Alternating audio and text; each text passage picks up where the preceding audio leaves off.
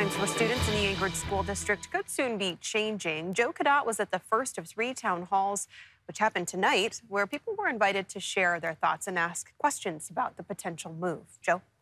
Beth, there were about 20 people who showed up to this town hall at Bettye Davis East Anchorage High School tonight. Well, it doesn't seem like a lot. Researchers say changing school start times to later in the day can have a dramatic impact on students' overall health. Many of the proposals presented to the school board have later start times for middle and high school students and earlier start times for elementary school students.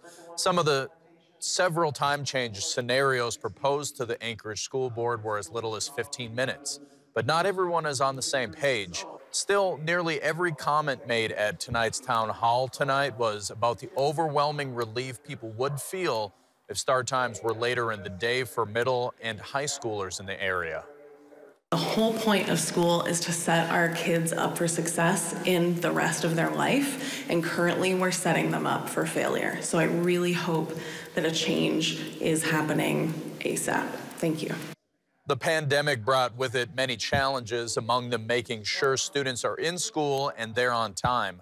Shannon Bingham, who is a consultant for the Anchorage schools, says cities that have adopted later start times, those issues have been reduced in those cities It can make a huge difference if a student gets the recommended amount of sleep for their age category. They tend to be um, more alert in class. They tend to um, have um, mental health benefits where they are happier, uh, more. Any time changes as well. Some of them say that moving start and end times at school will throw off schedules, take away time from some families to have time to spend with their kids, whether before or after school.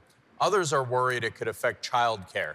If an older sibling watches a younger one, but schedules are switched to have a younger student home first, that could leave some families in a lurch. All right, thanks, Joe. Again, this